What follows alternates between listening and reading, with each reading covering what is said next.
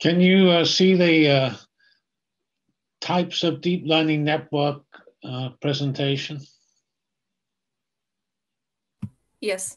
Okay, let's, uh, we've done uh, indirectly a lot of this material already, so let's get started.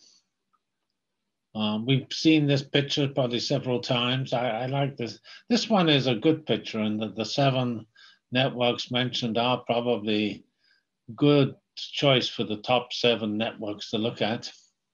And um, you probably will at least think about doing the first six. And if you really get into sophisticated applications, you'll move on to seven. And then we have I, this uh, slightly more um, ambitious category of 27 types, but uh, I think that's just for fun. I don't think we need to look at all of those. Um, so here is a, a, few links. I mean, as I've mentioned many times, there's so much data, um, so many articles on the web, it's sort of um, difficult to keep up. Um, and at least on this service medium.com when i when i read articles about a certain subject they then deluge me with another 20 articles on that subject in the following weeks. And um, this basically just is the um, index to the, this particular talk. And so we'll just move on from here and because we'll go through these one by one in the slides We've seen this picture many times and you've already used it in the, in the homework. And it's still a pretty important network. I mean, like there is, a, we discussed network, there's some really nice examples of networks that say map the uh, definition of a compound in, in terms of a chemical compound into its properties. That's typically done with this type of network. So sort of a database lookup method.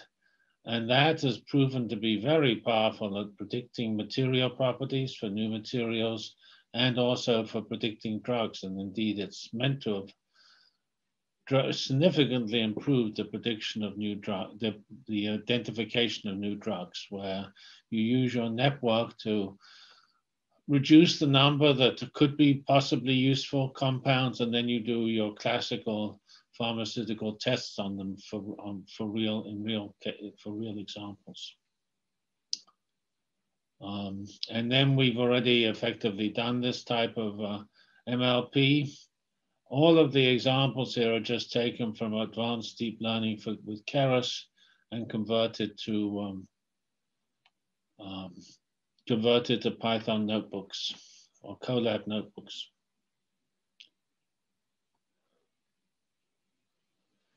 So convolutional neural nets are the, um, they, they're effectively uh, the, the deep learning implementation of image processing. And they, they build in the concept of locality that uh, if you have an image, pixels near each other are going to have relationships. And that was built into image processing from the beginning. You look for edges, I mean, you, you identify objects in an image by finding the edges, and the edges are then the differences. Uh, different, uh, um, drastic change in the structure of the pixels is, is the definition of an edge. And so the convolutions are um, effectively filters that uh, identify edges and things like that.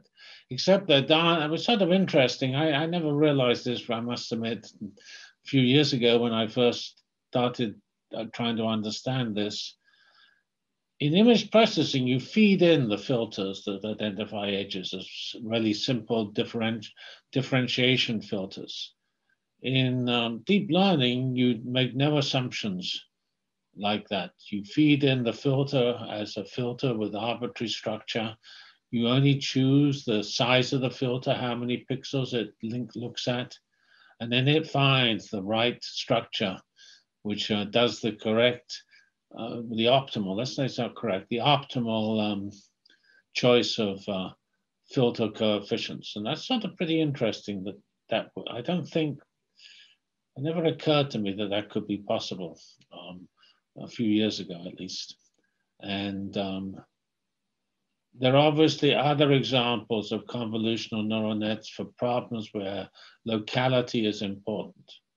And um, for example, in the case of earthquakes, where we studied, we looked at convolutional neural nets for earthquakes because earthquakes have a locality. If you have an earthquake at a particular point, you're more likely to have earthquakes near it. However, for that problem, it, they didn't add much value. So because that particular locality was obviously sort of different. So a lot of this is, of course, experimental. Here is the, the CoLab, which looks at uh, that. I will set our homework, which tells you to look at these different CoLabs.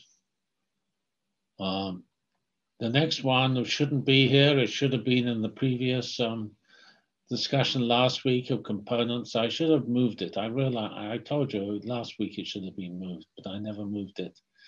Uh, but dropout is actually dropout and stochastic gradient descents are sort of small miracles or brilliant ideas because they use statistics in a way that's slightly unusual, in my opinion, and different from the way they got used in the past.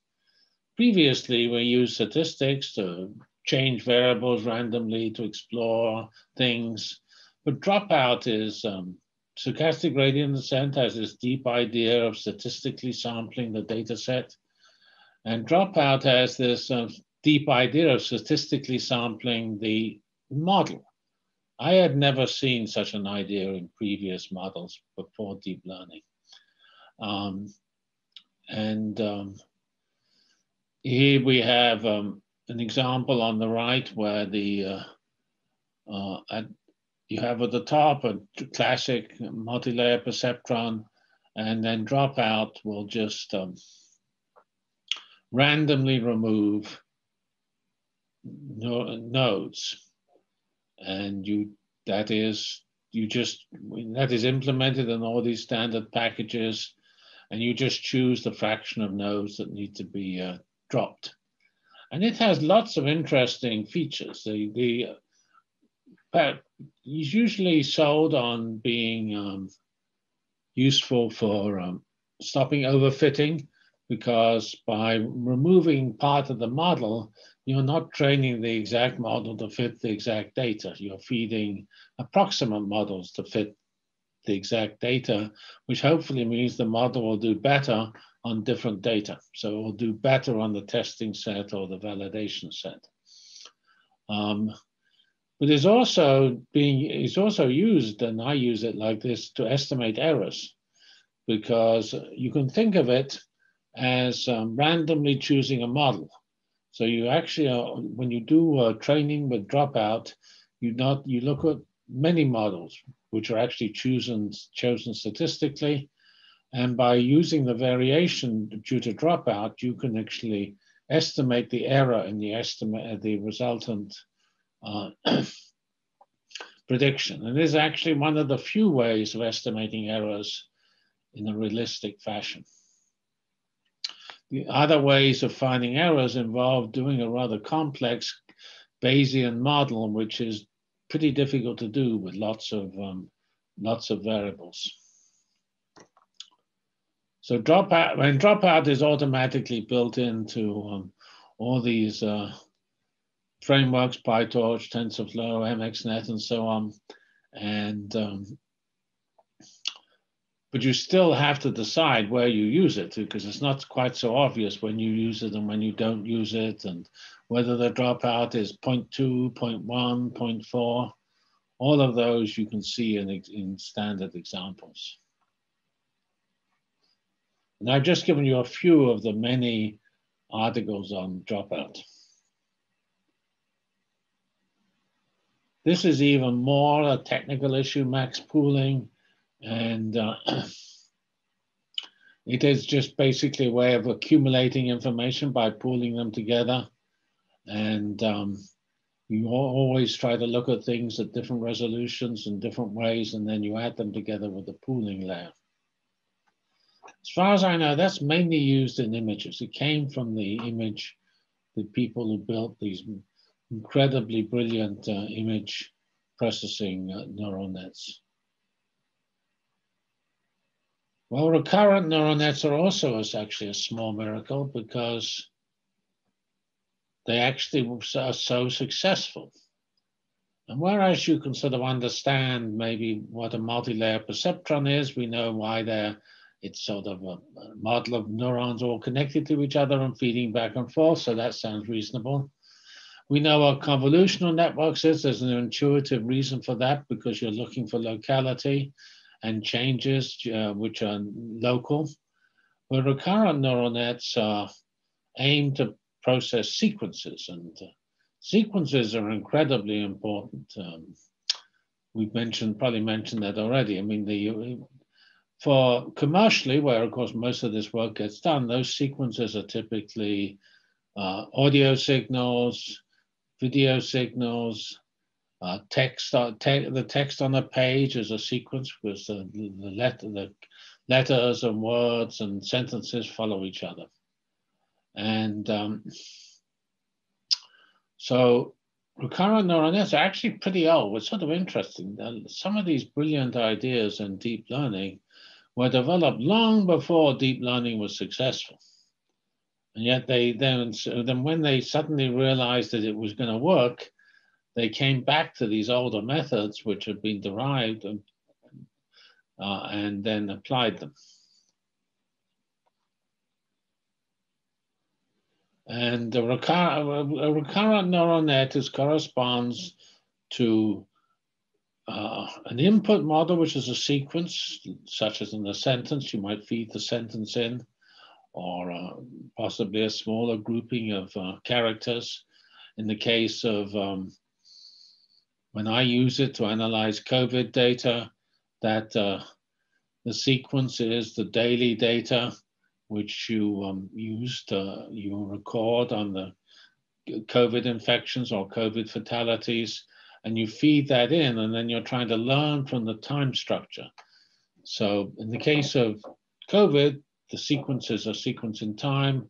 In the case of natural language, the sequence is the sequence of, of characters in a speech. And the recurrent neural net is something, whereas a a convolutional net starts with a flat thing, an image, which then moves through the um, thing with every with all the pixels at the same level. A recurrent neural net is a arrow which goes through the uh, network um, with each each uh, each member of that uh, sequence being processed one after another. And when you use them, a, a pretty important choice is how long the sequence is. Um, it's probably more natural for language because sentences and things give you a natural length. For COVID, it's uh, not so obvious what the length should be. And for some other examples like earthquakes, even less clear. Um, so here is the the, the uh, advanced deep learning in Keras uh, example for an, a recurrent neural net.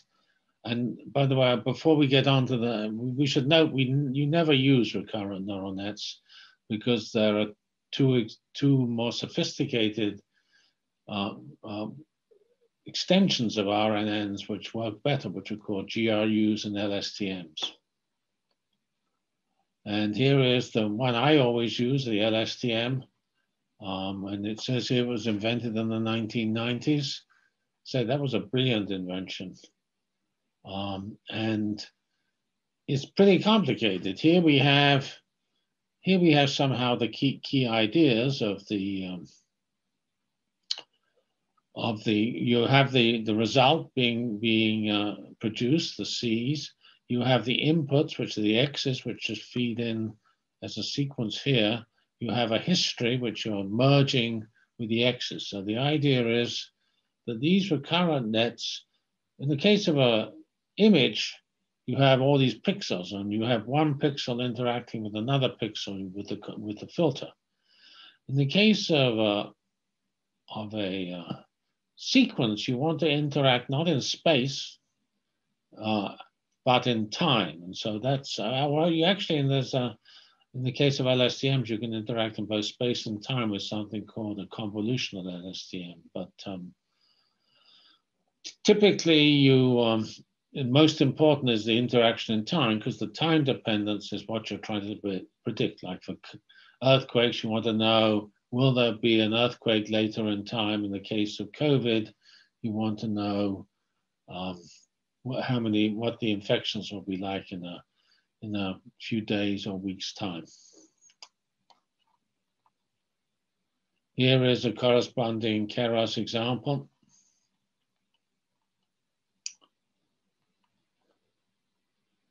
And here is an example that another student in, um, in the Intelligent Systems Engineering, JCS, uh, produced for uh, learning about the um, uh, trying to learn the motion of particles. I think I mentioned that example earlier.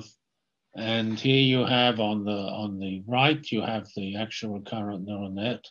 This thing over here is just a picture of the LSTM with I, I, should say I, I, haven't gone through the details of the LSTM because I don't really have a true good intuition for why you have these particular gates.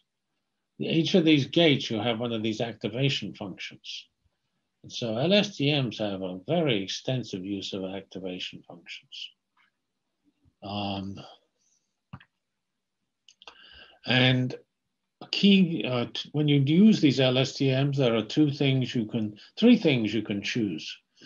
Uh, one is the number of, of uh, the spatial size of the LSTM, how many inputs it has um, because that's not necessarily the same as the number of inputs of your original data, because you may have actually usually start on LSTM off with a, a uh, fully connected network, which maps from a certain number of input parameters to a different number of parameters that go through the uh, spatial parameters which go through the uh, LSTM. And it depends on the complexity of the problem, how many those are.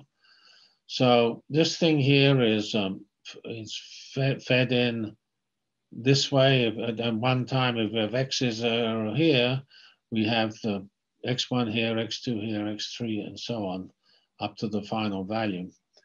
Um, and so this is the thing going through in a sequence, and they produce answers which are then um, sent to another layer. So you have you have to choose this number here, which is five. Uh, well, it's as drawn as five. And uh, you have to choose the number of input lengths, which is 96 in this case. And you then have to choose the number of layers. You, typically, you use two layers. Um, so this also points out another, I told you we have here a, a fully connected network to input the data and convert from the input data size to the uh, internal LSTM uh, size. And here we have, we go from the internal LSTM to the final output. That's again a fully connected network. So it's, it's actually quite easy to write down with uh, these, these Keras or TensorFlow or PyTorch, but uh, it's pretty sophisticated and all this was I say invented 30 years ago, well, 25 years ago. That's sort of pretty interesting. Now GRUs are shown here on the bottom. Here we have RNNs, which is just have one simple activation function, and that basically didn't was found effectively not to work. As far as I know, GRUs and LSTMs uh, both work, and they are very similar, except the GRU has three, not four um, uh, inputs, uh, activations. And um, I do not, I have not used GRUs much. And I, when I did, I think LSTM somewhat outperformed it. So I've just settled on LSTM. Um, probably GRUs, well, I'm sure they have less parameters. So there may be some reason if your data is limited, you would use a GRU. But uh, maybe you can find this, but I've not seen an article with a clear description of when you use GRUs and when you use LSTMs. Autoencoders are, again, a brilliant idea um, where you have, um, this is uh, this is when you're trying to, often you want to form reduced dimension representations. You have a high dimensional state, like uh, one example where these are used is actually in, in um, trying to control uh, molecular dynamic simulation. So supposing you're running a molecular dynamic simulation with thousands or hundreds of thousands of particles in it. Uh, you want you you want to run those particles. You want to do that total simulation, and you want to uh, track it and try to make it not get lost in in in the middle of the simulation. You do that. This is uh, this was done before deep learning by trying to find so-called collective coordinates, some coordinates which you can reproduce the essence of the system and transport it through uh, the, the simulation faster. And this is a, and that's effectively what you're doing here. You're coming up here, which in this case here is the uh, for its position and velocity in three dimensions. So this is six times the number of particles. Here we have some internal um, representation of the um, of that input data, which is more compact. It's called it's sometimes it's called dimension reduction, and where you're trying to map things in one in a high dimension to something in a low dimension, and you you do this by this clever idea of actually training it to reproduce itself, but forcing it to pass through this um, low dimension layer in the middle. So that's a pretty interesting idea, which is can be built into several types of um, neural nets of actually trying to uh, trying to change the size of the system you're looking at to hopefully increase the learning path. And you, this clever idea here is you, you don't actually need any training data because that's why it's unsupervised learning because you're training it with itself. You just need data because this, this uh, intermediate layer is learning to represent the data itself. And there is a variant of this, which is often used in some cases where there are uh, some sort of special feature of the data, which makes some sort of variational principles important. And um, it is uh, got a different loss function from the traditional autoencoders, we applied actually a variational autoencoder to a case which we thought it should work because it was trying to look at the spatial distribution of, uh, of, of, gene sequences, but actually the ordinary autoencoder gave slightly better answers. Um, still, it's, uh, it's obviously an important type, and if you look at autoencoders, you should also look at variational autoencoders. Here is again from the Keras uh, book, uh, an autoencoder to create a classifier. Now it's applicable to MNIST because you're, if you have all this data, you have a lot of data, it makes some sense to try to, re to reduce that data to a lower dimension, which captures the essence of the data, and then use that to do the mappings with. Here is one that's um, even more possibly obscure, but I think it's actually less obscure. The transformers are a natural architecture. They're actually more natural in some sense than LSTMs, because when transformers, you're looking at sequences again, which are not, you're not actually uh, running the sequence in time. You take the sequence and flatten it in space. So you, you, you have as your input in one, in one plane, all the sequence data just lined up.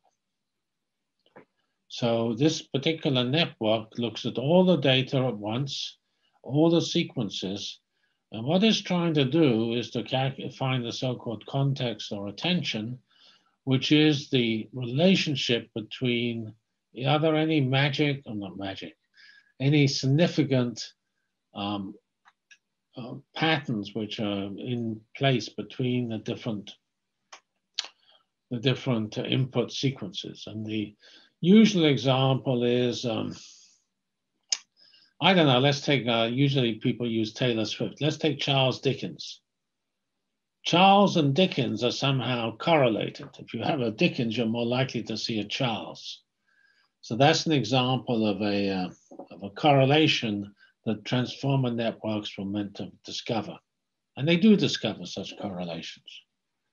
And um, and they oh, they were largely developed. I think still their dominant use is in uh, is in the natural language processing area. So either speech or voice recognition and text uh, text uh, text processing, and um, it is. Um, it was done by a brilliant paper by Google in 2017, and it is. It may not. I think various reinforce it's more sophisticated algorithms yet and at the best, but it is very near the best approach to such problems. Um, here is a bit of mathematics to show what it actually does. I told you this interesting feature that in convolutional nets you have filters, and the the, um, um, the network learns the filters. Well, actually, the uh, this idea of attention is pretty simple. Uh, you form a you you you you first take the data, all the data, and you map it. You take. Um, um, I told you in the case of these sequences, you lay them out, but you take each sequence and map it into some. You hash it effectively into some encoding, then um, which has which is encoded, which is replicated in time. So you get you.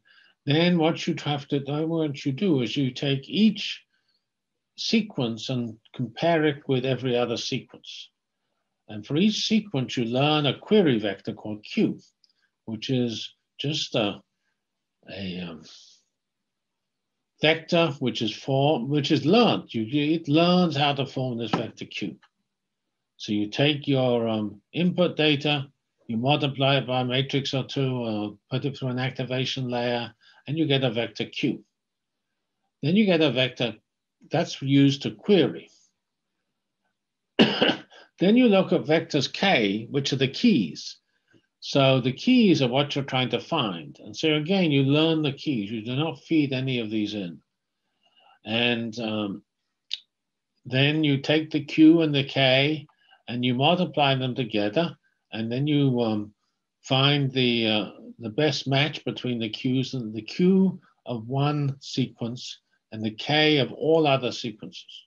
Take each cube with all Ks, then you find the Q, the QK um, scalar product, which is got the maximum value, which you create by running it through a softmax thing, which uh, I told you is how you create uh, effectively single classifications. And then when you have that, so, do you decided which K is the best, you then associate a V to it. So this Q generates a V. The V is the value.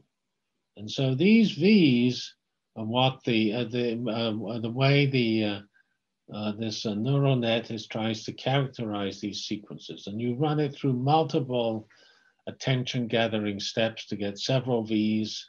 And you use those V's to make, uh, to, to decide what this sequence means and to look for patterns.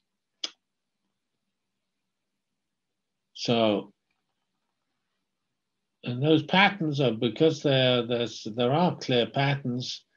Uh, we know that the, in English, I mean, any language, when you write it out, there are lots of patterns, and if you can learn all those patterns, then you can uh, then you can you can use those patterns which you've learned to map the see the sentence into its meaning if you want to know, um, this is actually a very, um, this idea of using patterns to identify the future or the meaning is very common. People have been using it, still use it continuously. I, come back to the one of the problems I've looked at for many years, uh, trying to foretell earthquakes. There are lots of uh, literature which effectively try to look at patterns such as water oozing out of uh, rocks or dogs barking, which are meant to foretell earthquakes. So that's an dog's barking is an example of a pattern. Well, we can't feed the dog's barking into a neural net.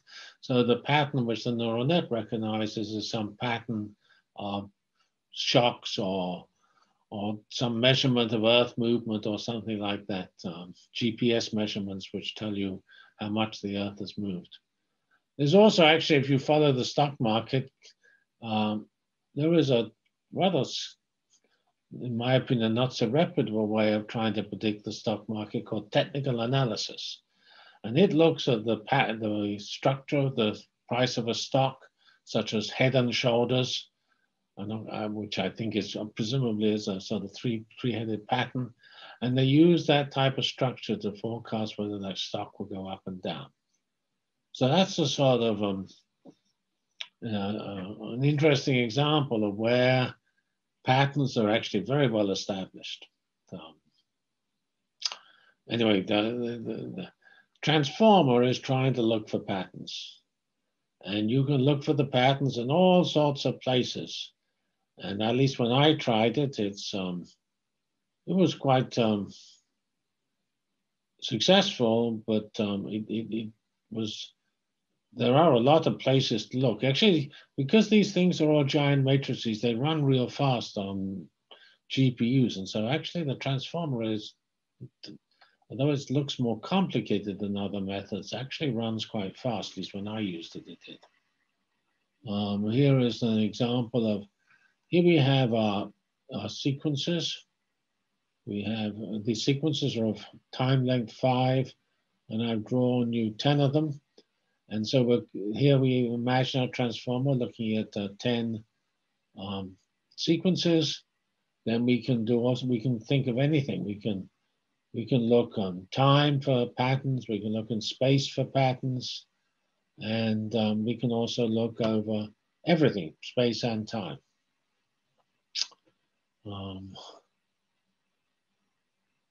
so uh, that's, uh, and that's a choice you, I think, as far as I can see, that's a choice you can make. The transformer, because it came from uh, the natural languaging example, I don't, uh, application, I don't quite see how to apply what they did for natural languages to choose the natural uh, time of attention to apply that to other areas. Like for earthquakes, it's not at all obvious whether it's the structure at the at the time at the time period of seconds, which are, are which predicts the future, or the time scale of years, it can be uh, non-trivial.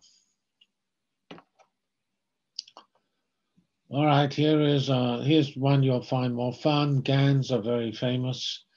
Uh, the generative adversarial networks were uh, brilliantly invented by one of the pioneers, Goodfellow of uh, of uh, deep learning, and it's trying to generate fake fake data, and it has these uh, two networks um, which are essentially debate with each other as to whether something is fake or real, and by and you it can actually generate random random so it has real images and random images and it learns to discriminate between them but then you take a random image and produce a real image out of it, and uh, that gives you these remarkable pictures.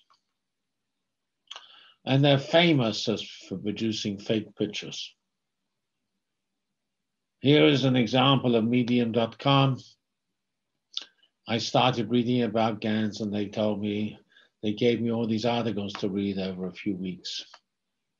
So I list them for you. And finally, there is reinforcement uh, learning, which is um, trying to teach uh, teach the network to uh, to um, identify the uh, the right answer and make policy decisions. And um, my, I have a very good student looking at this at the moment, and he is finding it relatively hard to actually generate uh, reliable, good results. So I think reinforcement learning is a, has been shown to be by the heroes of the field like Google, who have infinite compute time, uh, to be to work, but um, and the idea is that you feed in, uh, you you give uh, you have an agent, and, you, and, then you reward that agent when it makes the right decision, and you uh, dis disreward it when it makes the wrong decision. And uh, I think the the way these um, people play games like Go is by using this type of reinforcement learning. I believe that you can think of it as being not a different type of network, but a different way of optimizing other approaches.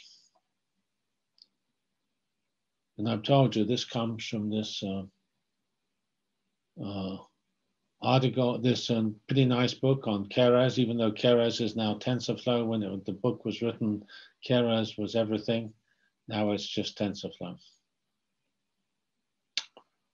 All right, I went through that pretty fast because I, I want to finish these technical lectures today. Do you have any questions? In general, you can, I, I told you at the beginning, there are seven basic networks. If we ignore reinforcement learning, I think those other six, which uh, we mentioned, which we've gone through, you could expect to want to know, know how to use all of those six because they all cover, they're all, there are lots of nice examples where they are, each one of those six is the best approach. Um, so,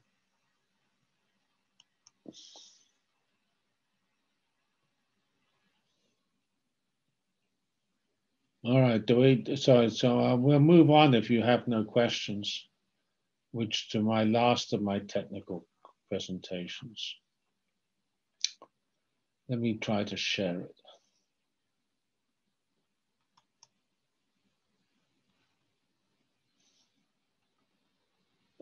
Actually, I shouldn't have, uh, I'm stupid. It's the same sharing, except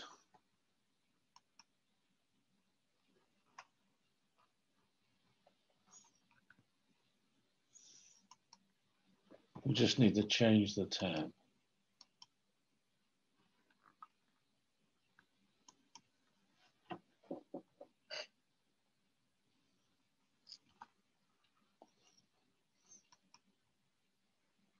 Sorry, I pressed the wrong button.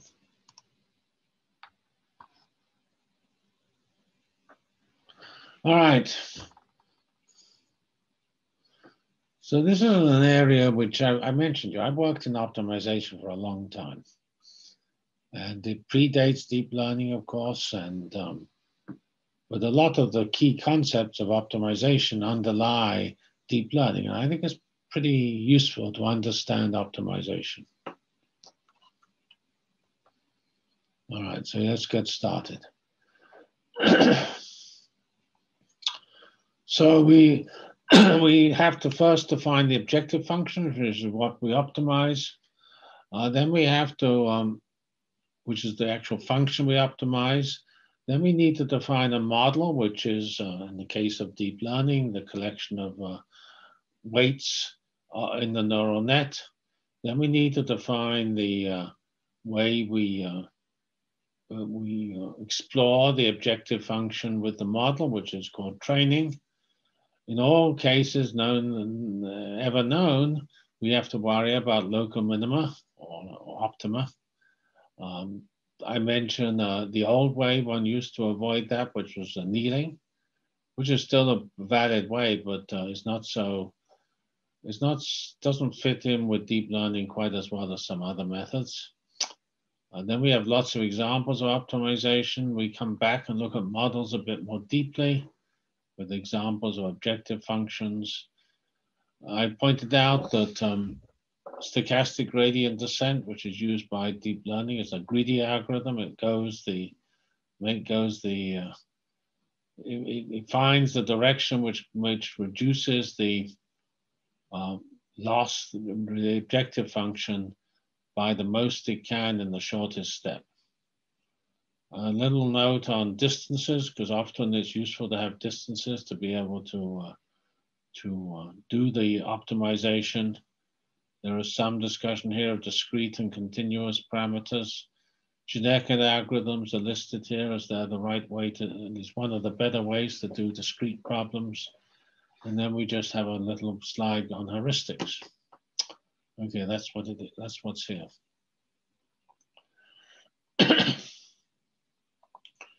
All right, so we're trying to optimize something, which means we have to have a function E, which we're optimizing. And it can depend on billions of parameters. And given my background as a physicist, I use E because E is energy, and nature is always minimizing, uh, possibly not the energy, the free energy. And that also depends on more than billions of parameters. It depends on all the parameters specify the positions of all the particles in the world. Because uh, nature is, uh, I mean, all the, the laws of physics come from uh, variational principles that minimize the Hamiltonian, which is the energy. Now we, there's a little bit of confusion as to whether we're maximizing or minimizing. And you know, you know, an optimist would tend to maximize, but normally we multiply that optimist and optimist by a minus sign and do minimization. Um, a particular, often used, particular nice form of E is one of the sum of squares. And sums of squares are pretty useful because they're bound to be positive. So there's no possibility of the function disappearing to negative infinity. Um,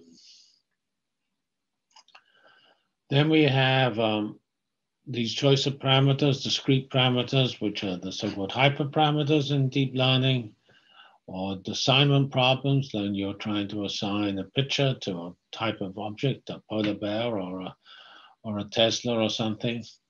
And um, then we have continuous parameters, which are the deep learning weights themselves, or if we're doing clustering, the cluster centers. When I started optimization, which was, uh, you know, whatever it was, um, uh, 55 years ago, then we actually used to discuss, then the things did not have billions of parameters. We had tens or hundreds of parameters. And we used to write, um, build um, optimization methods that uh, were distinguished typically by how much information they used. Did they just use the ability to take a value for the parameters you're trying to optimize and calculate the loss function? Or did you also calculate the first and and typically not the second derivative. And uh, these methods, the steepest descent is a, is a, a first derivative calculation method, and uh, as is, and, and then there are these various uh, sophisticated refinements on how you do the optimization, expectation, maximization, and stochastic gradient descent. It's worth noticing and this is often used in these old days when we only did a few number of parameters, we often built it around line searches. If you have one parameter, it is pretty easy to optimize a function of one parameter because you start at a point, take another point, and then you go to the middle of that point, those two points calculate the value, then you decide which side of the, which way to narrow in on the minimum. So one dimension searches are very easy, but of course, as deep learning is built around huge numbers of parameters, the, the history behind one dimensional searches is not so useful. Uh, in the when you come to hundreds of thousands or maybe hundreds of thousands of variables, you can use Newton's method, which um, I know from my daughter who's 15, who's doing um, just learned, it's just done Newton's method earlier this year. And uh, so presumably it's a well-known method. And um, it uses the second derivative um, to find the, uh, to, to find uh, not just the direction, which is the, uh, of the, where the loss decreases, but actually an estimate of the point where the loss is a minimum, because it's affectionately making a parabolic approximation to the, uh, to the function, whereas the steepest ascent is making a linear approximation to the function. One thing I remember being quite astonished when I first did optimization, even with half a dozen parameters, the Newton's method never worked.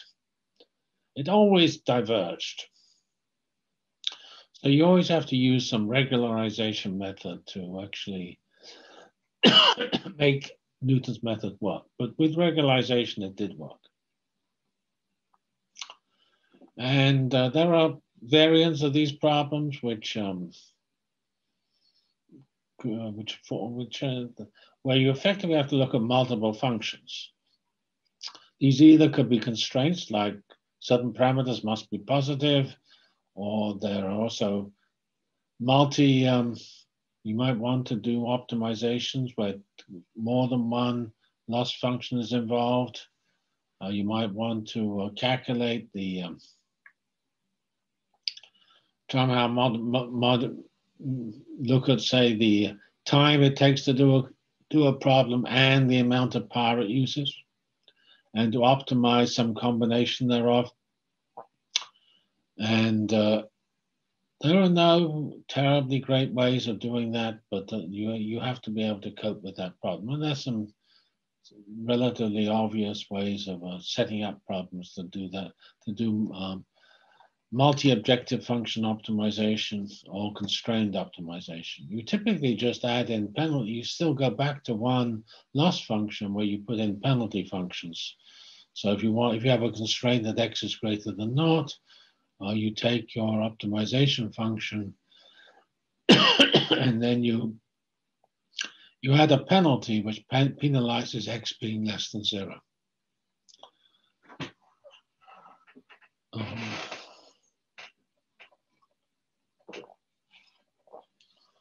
Sorry, I got a bit hoarse. Okay, let's move on.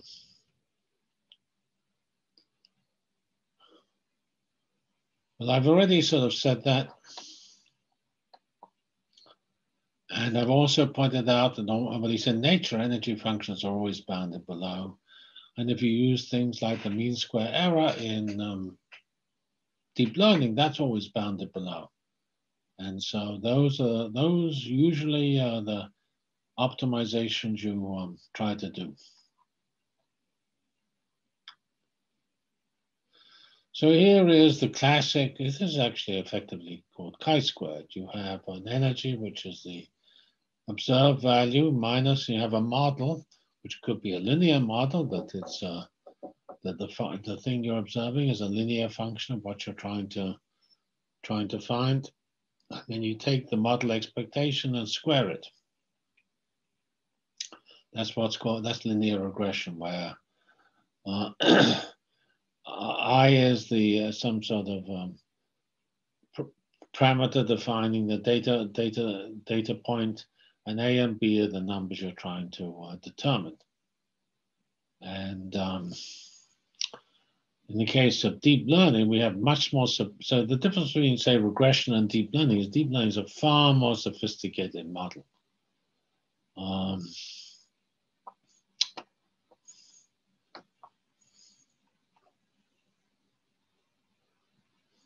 Well, this just proves that the steepest descent is a sensible thing to do.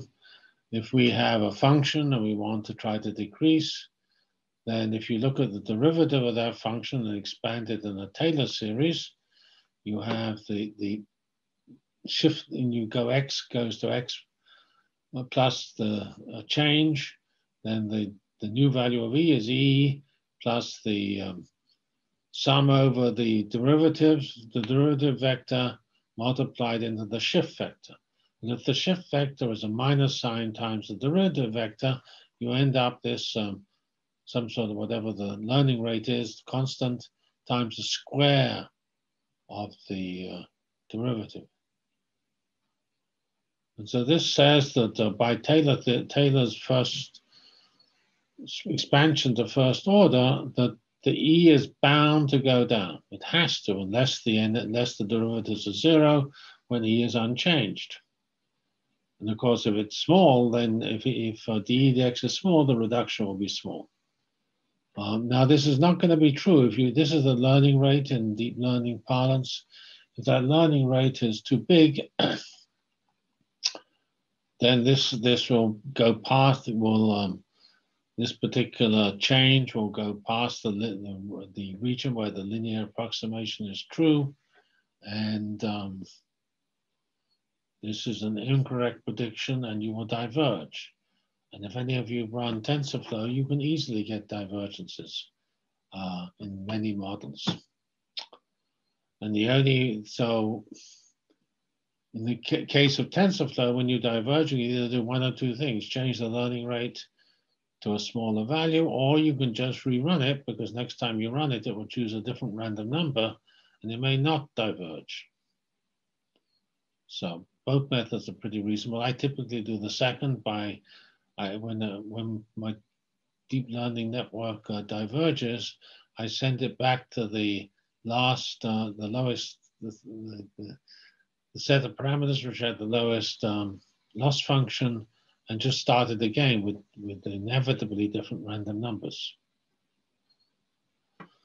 Oh, and these are, you know mathematically what this means. It will diverge if for a case where the first derivative, where the second derivative is large, because the when you do a Taylor uh, theorem, you um, uh, you do the original the energy at term, which is in the in the first derivative, and the term in the second derivative.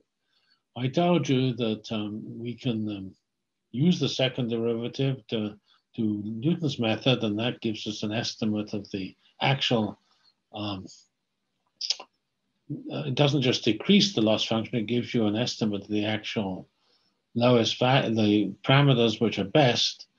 But the trouble about that estimate is that that is an estimate only true if the third derivatives and higher are, are small. And what this thing I learned for the um, for when I started optimization was always the higher derivatives are large, at least in all realistic, at least in the, nearly all the problems I was looking at.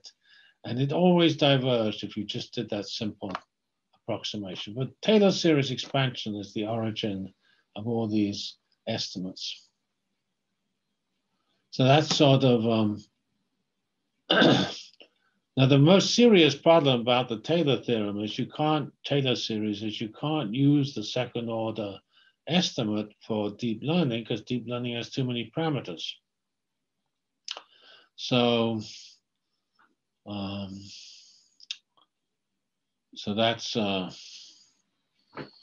so the first order methods are practical because the size of the derivative matrix is equal to the size of the matrix of unknowns, and so that doesn't increase the computer time significantly. Whereas the size of the second derivative matrix is the square of the size of the number of unknowns. And if you have a, billion unknowns, that ain't gonna work. It will work up to, um, I don't know, a million unknowns, okay, but that's it. Well, I've shown you, I think, these pictures already. These are to show this is all, this picture came from my talk in 1992 at uh, at uh, optimization conference in Houston, and it showed sort of an in some interest. You have to decide what your loss function. These are meant to be pictures of the energy, and here I just grabbed some. There, there's several examples here. Here is what you like: a beautiful convex function with similar a similar shape in all dimensions. This will converge imme immediately to the right answer. Um, here are some other examples of which are much worse. This is, this is a classic physics energy function. They always look like this. You have this global minima, but it is not smooth. This is not smooth. It's got glitches in it, which are local minima. So if you get here, unless you try hard, you will not get any further because just here or here are uh, local minimum. And um, that's, um, this is, a, so this is a case where the local minima are near the global minimum. My impression is that in many problems that is true. Here is a more exotic problem, which is you might which at least is challenged by various computer science endeavors, where you have minima, but the minima are completely disconnected. And uh, if you are here, you'll never see here because you've got to go right the way up to here and come down. Or, or you won't even see here either. So a, a set of separated minima is, is the hardest problem to do because you unless you explore the entire space, you'll never know if, well, if there's a small, deep minimum.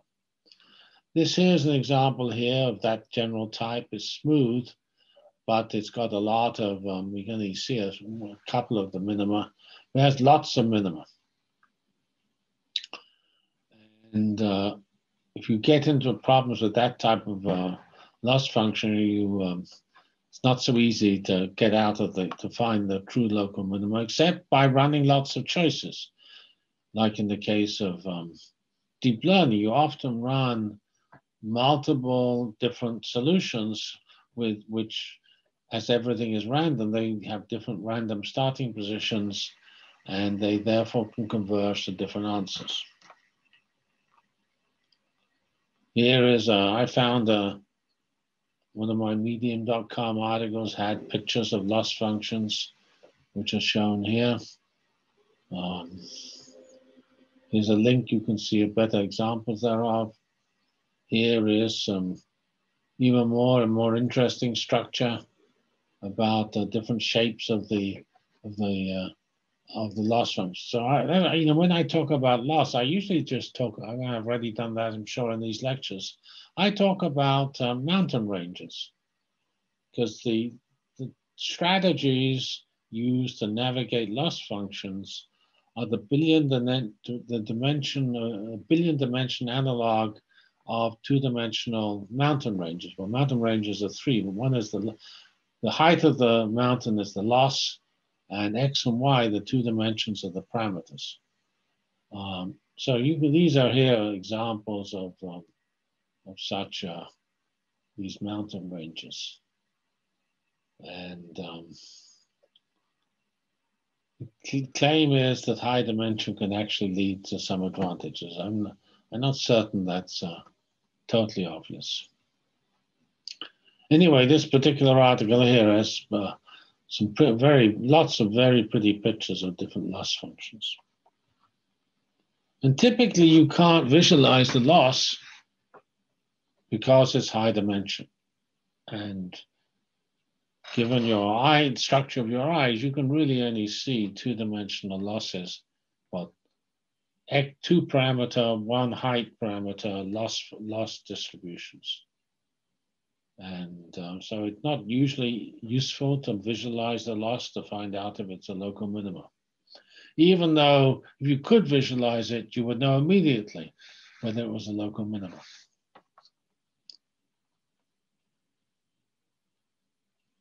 So here is a little more detail on this um, loss function. Um, here is, I gave, this is a bit like the physics example I gave. We have a giant uh, trough, and we have a, halfway down the trough, we have a, a um, local minimum. And uh, if you're sitting here, you need to get to here. And it's the height of this intermediate peak determines whether you can do that easily. If the height is small, you can, it only requires small shifts from the, um, which you can probably do by just restarting the system, restarting, tweeting a different random numbers at this point here uh, to get over it. And you can see greedy algorithms are very likely to find local minimum because if you're up here, and you travel down to the minimum, you're bound to get to here. So you're bound to get into a local minimum. so that's a weakness of, of greedy algorithms. Stochastic gradient descent, and it does reduce this because it's using stochastically, it's, it's putting significant variation into the shifts. Because you're taking random samples of the data to do the you're not doing taking the whole data and doing the shift down here, which might give you a long, a large valid shift distance. You're taking, you divide the data into a thousand parts and do a thousandth, a small shift of a thousandth that length. And the hope, the and I think the experience is that that is more reliable. Um, well, I say this is well known from uh, people from a long time ago because, um, and it's uh, it's exhibited in this in this physics um, uh, term called annealing or tempering, which is a variant thereof. Namely, if you um, take a system and you have it at high temperature, if you pour water on it and cool it to low temperature fast, it will often be, uh, it will often um, have defects in it. And then that the people don't like those defects because they found out that that made the metal which trying to um, trying to to uh, uh, make weak because uh, if if you if you if you're in a not if your physics uh, system is not in the local minimum and in the true global minima, those um, mismatches of, of incorrect uh, arrangements of atoms lead to weaknesses.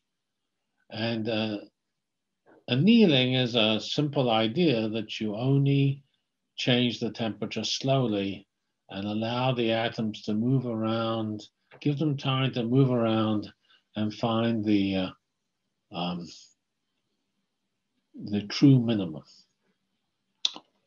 And here is a blacksmith trying showing it in real life. And here is a picture showing again. Here we have these physics type um, energy functions. This is at a low temperature, a medium temperature, and a high temperature. And um, what does temperature do? Well, temperature smooths things out. And the highest possible temperature, you do not get these jagged curves. You get a totally smooth curve. And so the idea behind annealing is you start off at a high temperature, you get to here, you then, uh, then you, when you go to a lower temperature, you're not up here, you're actually down here when you get to there and so on. So by gradually reducing the temperature, you, you always operate your system in a place where the parameters are essentially near the minimum. So that's just the physics. That's the way nature does um, um, does this. And in fact, if you think about quantum computing, there are some you can do annealing very well with quantum computers. This uh, commercial company D-Wave has a quantum computer that does annealing very well because nature does annealing extremely well. And it's being a, it has been claimed to be good for deep learning. Um, all right, so as I said, I think I've already pointed out, there's a real, there's a significant difference between models today and models in the past. Because today the models are abstract when you're do, doing a, um, when you're designing um, recognition for uh, your self-driving car, you do not make models of cars. Uh, you might uh, use some features of cars to recognize them, but that's it. Whereas when I was doing this type of work uh, many years ago, um, we made the models, the models came from physics. We were looking at some physics data we had a rough idea was what's going on, and we made a model which we thought had some hope of explaining this data. And um, so in, in, in, our case, the model had parameters, the parameters had physical significance, and we, we did optimization to find the best parameters which have made our model fit the data. And I think I have some examples here. Right, the person who actually first taught me how to do modeling was Richard Feynman, who won a Nobel Prize. He's possibly the most brilliant physicist there was. Um, and we wrote some papers together in the 70s, which used making models for a certain type of um, uh, theory, quantum chromodynamics. And we used those models to try to understand how the this quantum chromodynamics described the data, and we ended up with pictures like this, which were some measurements of data and some curves describing how various models um, uh, describe that curve. And they were all done by optimization. And uh, actually, I did always did the optimization for Feynman in those days. And we, um, and he always taught me this interesting thing that when you have a model, you don't change it. That's not what happens with deep learning. You always are changing the model. But when the model came from physics, he said, don't change it. You derive a model, then you use it, maybe for six months. You then see how it's done over those six months, and then you change it. Because if you if you keep on changing the model every millisecond or every day, it will always do well, but then you don't quite know what you've done because you keep changing it when a new observation comes along. And here's similar examples of models I made uh, in um, with my, my, colleague Rick Field, who, who uh, was uh, who I worked with with Feynman at Caltech. And these are just various experiments we did in those days. All right, here is another, I told you, Stephen Wolfram was student with me at uh, Caltech. And here we have, uh, here I took a paper from Stephen Wolfram's website, which we worked on together, which is called a model for parton showers. And so there we, we derived models for what happened to these elementary particles decayed. We couldn't observe them, but we took the results of the models and fitted it to data. And that's what a model was in those days. But it's, it is related to, uh, to what we do today in that um, the model is the hidden variables of, of, of, of deep learning. But we thought we had an idea what those hidden variables looked like, and we derived a model which um, built in some features of those hidden variables. In deep learning, you have well, the only assumptions you make about the hidden variables is what you build into is the structure of the network. And so deep learning is in some sense more powerful. In fact, we could redo all this work we did in those days. And it may still be, that may have been redone by people who look at these types of things today, because they still look at these types of physics and use these modeled um, uh, model predictions. So deep learning is a, just a much a different approach which allows you more flexible models. Um, now we come back to optimization. So if we look at optimization, we have various methods, various problems. One we do is um, looking at uh, radar data to try to, to radar data to try to look at snow. If you look at snow, you see layers because you have a season's worth of snow, it freezes, there's a hard top to the snow, the next snow falls on top of it. And so you get a whole set of layers, one layer per year, and you need to analyze how much snow falls in each year. So that's you have to identify the layers from the radar reflections. Clustering is uh, finding the positions of clusters to minimize um, the sum of the squares of the particle position minus the center position. Dimension reduction, which is assigning typically Euclidean positions to particles or entities, sorry, not to particles. You take any odd entity defined in an abstract space, you want to map that space into a low-dimensional Euclidean space so you can look at the structure. Another optimization is to find web, which is done every time you do a search, you find the web pages that are nearest. Recommender systems we already discussed. Find the movies, books, what have you, uh, near that you want. Actually, it's interesting, like the US Sensing, Census Bureau uses recommender systems to fill in the blanks. You fill in the census form but leave out some fields. Well, it can see from your census form, you, you can, you can characterize you, and then it can go and look at other census forms which have similar values for the things you entered, and then try to uh, identify missing parameters. Um, well, uh, face recognition is a good example. Image processing has lots of optimization problems, including recognizing faces and fingerprints and things like that. And as we'll see a little later on, distances are often very important here. Um, now, we have, uh, when we look at loss functions, we have to continue do the continuous versus discrete. We mentioned that. Then loss functions have particular forms. The most famous for me is chi-squared, the sum of squares, uh, observation minus model all squared, summed over all observations. There is a hidden Markov model, which you could view as a early version of a, of a neural net, which just has a few hidden variables uh, for corresponding to the observations. And uh, that's um, and then you have a Markov random field, which generalizes that, but it's still not as general as a as a deep learning loss function, which has lots and lots of many layers of hidden layers and many and very complex connections. And in physics, we have free energies. That's the energy, including the entropy term, which is the kinetic term. And I pointed out how those get smoothed as you go up in temperature.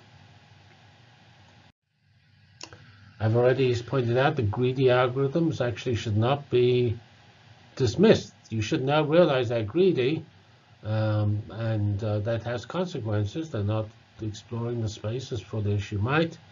Uh, you typically do greedy algorithms iterations, and uh, each step you make the iteration that goes down as much as possible. If you think about a hill, there's some there you can move down the hill in many directions.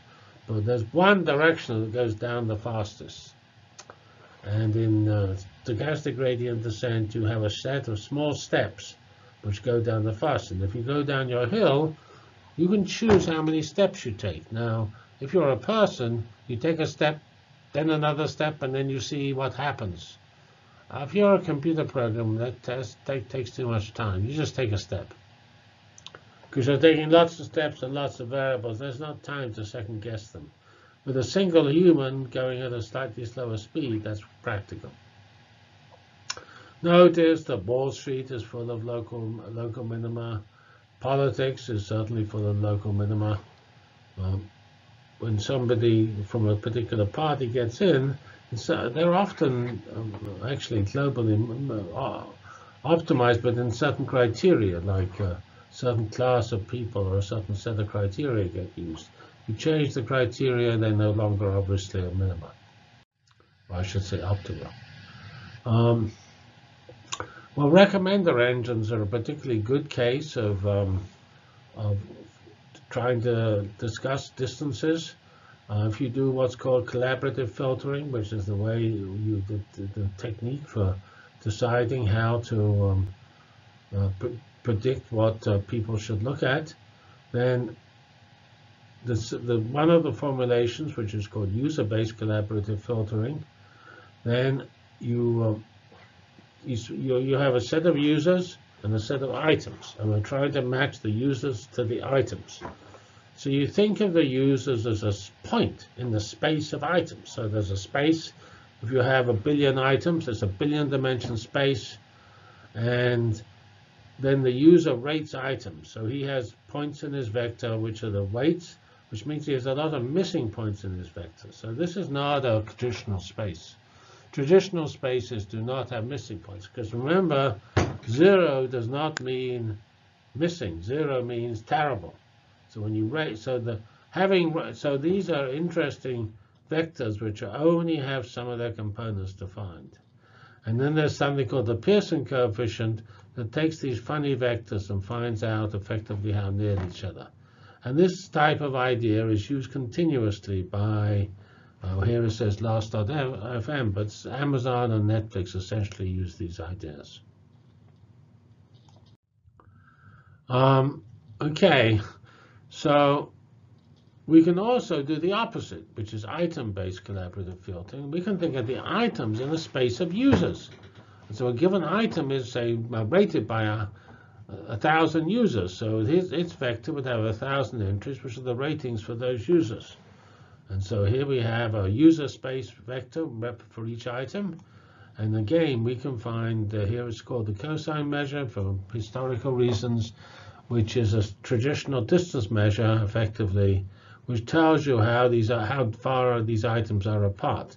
Because again, you would expect if a user is looking at a, if a, viewer watches a movie and that movie has one of these vectors, then um, if you calculate the distance correctly, so only use the the points in common where they're both defined with common ratings, then uh, uh, points in the space which, are, which have similar uh, similar ratings, which uh, which is what the cosine measure uh, abstracts, are likely to be useful to view.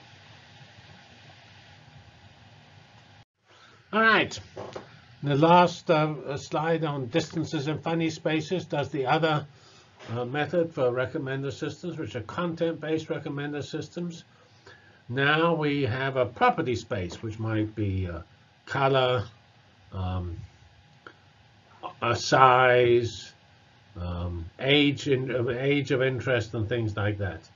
Then you can represent each item in a space of properties, or which is a space of content, and then then you're trying to find similar items, and so that's um, items that are near each other in this space. And um, that's again used by Amazon, Netflix, and uh, Pandora invented this under the name, fancier name, the Music Genome. I think it was the foundation of their busy, business. Um, well, do we need real spaces? Well, AI involves points. We have events when we're looking at physics and trying to find the Higgs. We have users or items when we're doing recommender engines. We have uh, words and books and documents. And um, you can think of all these thing, things we're looking at as points. They're in some space, which is sometimes called a bag. And then we want to look at, say, the set of all documents, uh, which might be characterized by the um, occurrence of words. So the um, they could be defined in the space of words. And um, and um, we then need to see if they're similar, and we need to find a distance between them. And uh, this distance, we'd certainly like it always to be positive. We'd like it to be symmetric. But there is this fancy Euclidean property of Euclidean spaces that uh, DAB plus DBC is greater than DAC. That's the so-called triangular inequality is not true. So these fake spaces do not have the triangular inequality. And that is actually not a big deal as far as I know. It's just a, it's a property of Euclidean spaces, which probably leads to lots of useful features, but it is not essential. Right, uh, most, for instance, uh, deep learning is what I call here continuous optimization. Namely, it's a, um, you have a function, that function is a functional variable, uh, depends on variables, those variables can, are continuous. Um, and then we will next go on to discrete. But uh, when you have continuous, then you get these uh, plots like this. And here we actually somehow have sketched on here the path to the minima. So here is a path to the minima. And here is a rather clearer path to here.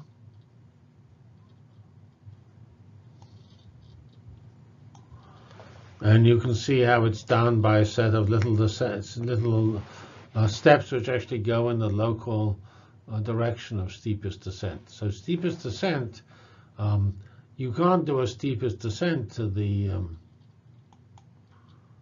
to the true minimum here um, from here because the steepest descent direction is in this direction. So what you do is you do a whole, you just do an iteratively a set of steepest descents. Each time you go in the steepest descent direction, and say if you don't get trapped in the local minima, you will actually make it. And in the case of um, deep learning, we actually do lots and lots of these uh, steps, huge numbers.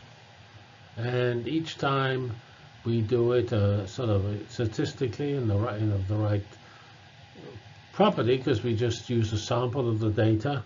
And by we do that partly to speed it up, but also uh, this gives us lots of little steps. And by having lots of little steps, we have a much better chance of getting over these uh, getting through these fake minima and uh, roaring off to um, the real minima. Notice actually in physics uses a different way of doing statistics. It uses the statistics of smoothing the function, which is the potential energy, uh, with the thing you usually want to minimize is essentially the potential energy of the physics problem, with the with the kinetic energy terms, which uh, which uh, have typical energy, as I mentioned, kT or kT over two, and um, those are those are used to smooth out the problems. And so each of all of these methods actually use statistics in some sense to get the right answer.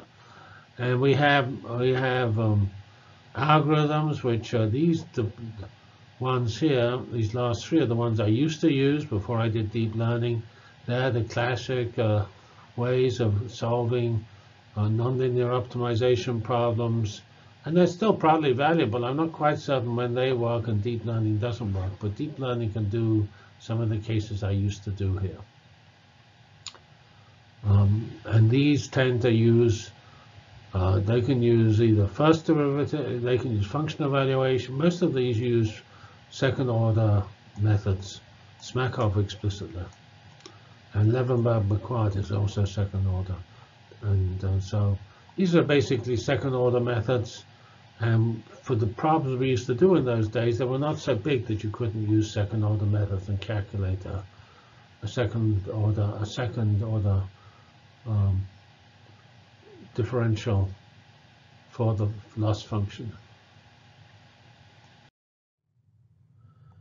Um, if we look at um, discrete optimization, then actually deep learning is good at discrete optimization.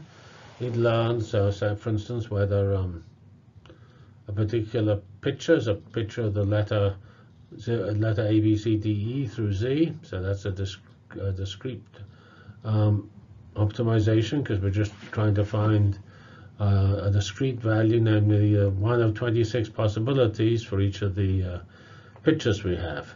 Genetic algorithms are perhaps more um, important, although they're not as powerful and revolutionary as deep learning.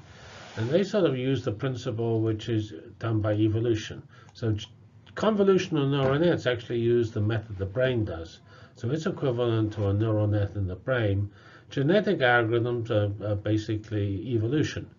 So they have a, a, set of, if you have a function you want to minimize by genetic algorithm, you form a bunch of function values, and that's your population and then you're going to try to take that population and use the survival of the fittest method. Um, and you are, and you often tend to use this for discrete problems because it's much more natural with discrete problems, although it's not essential. So you have um, a set of points, they're the possible solutions. You have their fitness, which is the value of the objective function or loss function. And then you change the population. You delete things according to rules. You keep things according to rules, and then you mutate them, which you can do by, like in the way nature does, by you know, cosmic rays wiping out a genome or something, I mean a, DNA uh, unit, or crossover, which is equivalent to, to, to marriage, I mean, uh, I mean uh, giving birth, where um, mating rather, where um, you take two vectors and then you merge them together and take, say, the part this part of one vector and this part of the other vector. And you take this, uh, you take a large population and you iterate this population, and at the end you take the best value. And when you do deleting, you're not going to be deleting the ones that are doing well. This method only uses function evaluation. There's no derivatives being needed. And so it actually can run a lot faster than some of the other algorithms. Uh, finally, we'll talk about heuristics. Here is Wikipedia's definition of heuristics, which are these ad hoc algorithms which you do, which are kind of, which are application dependent, and they uh, are not exact, and they they sacrifice something, and then usually the exactness, in order to get a method which can be uh, run reasonably fast and gets reasonably good answers. Um, because actually, when you think about data, data is not precise. So you don't actually need the exact optimal for most sets of data. You just need a good optimal. And that's what heuristics are aimed at. They're aimed at good answers, not exact answers. And there's this concept in computer science called NP hardness, which essentially says it's an exponentially hard problem. But if you actually compare the property of NP hardness with, the, with how hard it is to solve, the many NP hard problems are actually pretty easy to have a good heuristic. And um, so heuristics are very, very important. And I would actually consider the the constraints of being being or not being NP hard are not as important as you might have thought. Thank you. So that's the end of this lesson, and uh, let's get on with the next lesson.